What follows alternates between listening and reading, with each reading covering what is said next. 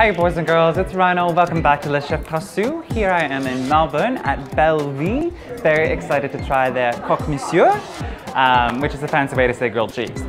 But since I don't eat anything and my viewers usually we don't eat anything at all, I'm going to show you how to do the gluten-free vegan version and it's going to be epic.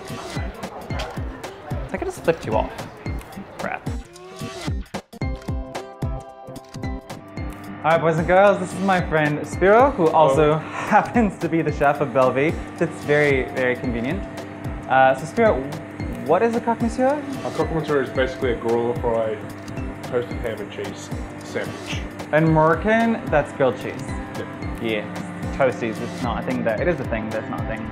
No, All right, so how do we make a croque It's just good bread, Yeah. white sourdough. The thicker the bread, the better. Like the slices of bread, the Mhm. better.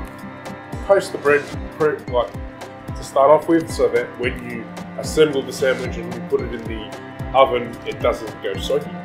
And then it's just take it out, Dijon mustard on the bottom, ham, Gruyere cheese, top the bread, more cheese on the top of the layer, and then put bechamel sauce, which is basically the cream sauce in a lasagna, and then more cheese on top of that, and in the oven or under a grill until it's nice and golden brown. So for my bechamel, since we're not doing meat or dairy, we used a vegan butter, which is basically olive oil coagulated. That sounds really appetizing when you say it like that. With sweet potato flour uh, and rice milk, because rice milk actually is quite creamy compared to the soy and coconut. Nobody really wants it to taste like coconut.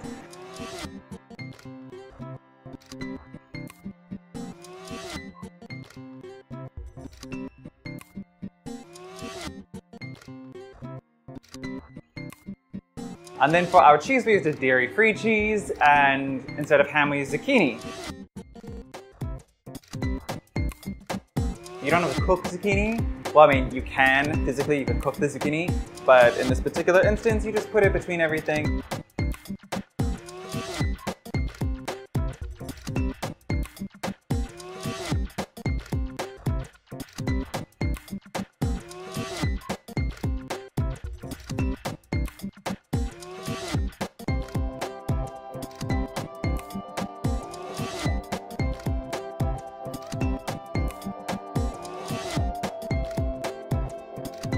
Grill it, and magic ensues.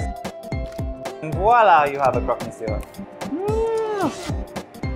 Oh, cool. Thanks for watching the show, boys and girls. Don't forget to subscribe. Tell your friends to come to Belle Vie when you arrive in Melbourne at some point, and otherwise, tune in.